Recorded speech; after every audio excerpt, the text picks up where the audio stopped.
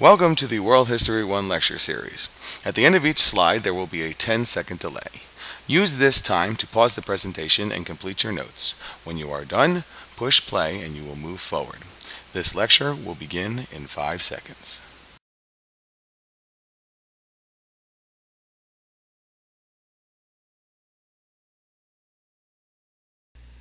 Welcome to World History 1 Lecture 2.4 on the geography of Egyptian civilization.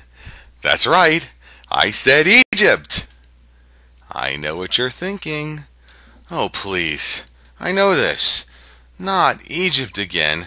I mean, how many times do I have to learn about this place? It's got pyramids. I know about the Nile River. There's camels. They've got hieroglyphics. They got King Tut. They got mummies. I know about pharaohs and the Sphinx. What else can I learn about Egypt? I mean, everybody from Indiana Jones to Brendan Fraser's been in Egypt. Well, you're right. You do know a lot about Egypt. And today we're going to take what you've learned and a little of what you didn't know and we're going to use Egypt to study the characteristics and effects we find in all civilizations. With that said, go to the next slide.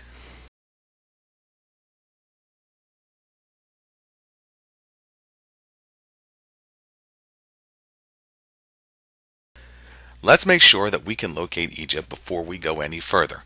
Here is a map of Africa, and that shaded country in the top right corner of Africa is modern day Egypt. You can see that Egypt is not part of the Middle East. But when we bring this other map up, we can also see that things are close together in this part of the world. In fact, we used Egypt as a landmark to locate Mesopotamia. The other two landmarks that we used were the Mediterranean Sea and the Persian Gulf. We even know that Mesopotamia and Egypt form the ends of the Fertile Crescent.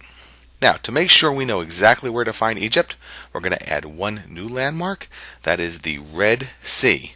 The Red Sea separates Egypt and Africa from the Arabian Peninsula in Asia.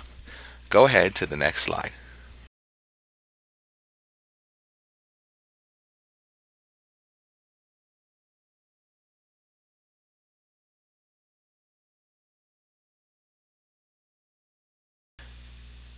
Now, Egypt and Mesopotamia geographically are similar.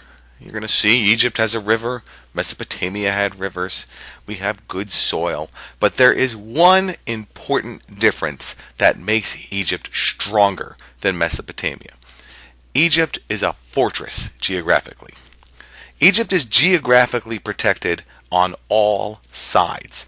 The Mediterranean Sea protects Egypt to the north, the deserts protect Egypt to the east and the west, and the mountains protect Egypt to the south. We've already learned that Mesopotamia is geographically easy to get into. So Egypt is protected from invaders. Mesopotamia, not so much. Go to the next slide.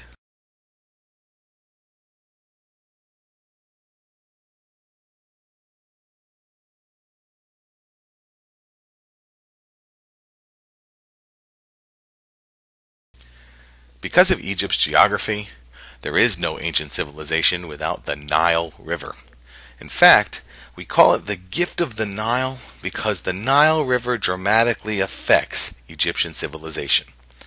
It's also one of a few rivers that flows from south to north, and this causes some geographic confusion within Egypt. Let's clean some of that up. We're going to start with the Nile Delta. The Nile Delta provided fertile soil. This is where the river empties out into the Mediterranean Sea.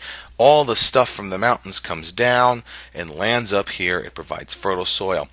And there's also flooding and irrigation here. It all increases Egypt's agricultural surpluses, just like what happened in Mesopotamia.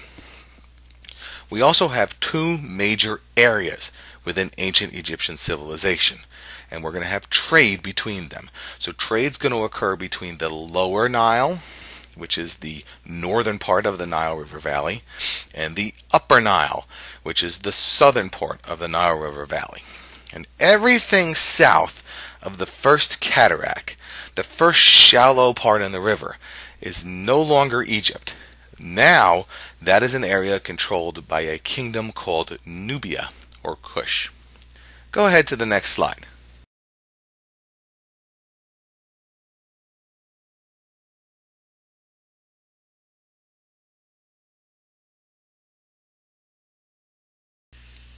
Ancient Egyptian civilization is special because it lasts for a very long time. In fact, ancient Egyptian civilization lasts for over 2,300 years. That's the entire ancient era into the beginning of the classical era. And during this time, we have three kingdoms in Egyptian history. Three times when all of Egypt is unified under one power. The first kingdom is the Old Kingdom. That's from 2700 BCE to 2200 BCE. This is the age of the pharaohs and the pyramids. Pharaohs in complete control. Then we have the Middle Kingdom. That's from 2100 BCE to about 1800 BCE.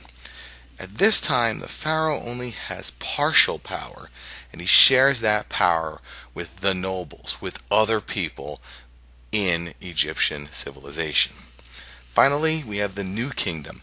That lasts from 1570 BCE to 1080 BCE. This is imperialistic Egypt. One pharaoh running the land, and he is trying to expand his empire to make it as big and as strong as possible. These are the three unified times, the three kingdoms of Egypt. Go to the next slide.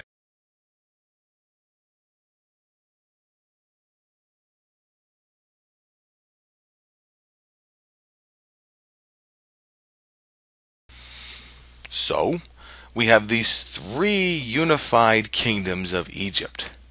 But what's going on when Egypt isn't unified? And more importantly, when does ancient Egyptian civilization end? And why? All right.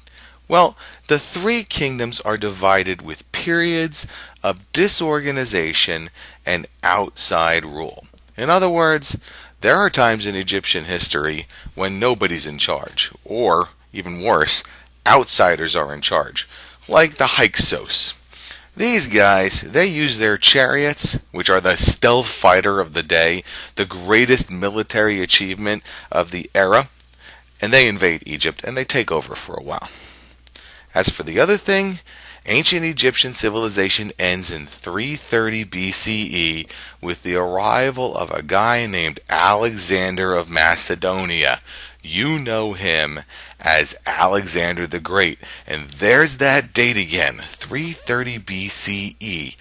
One year off from when Mesopotamian civilization ends. We're going to see a lot more of this guy. That's it for this lecture, and I look forward to seeing you in class.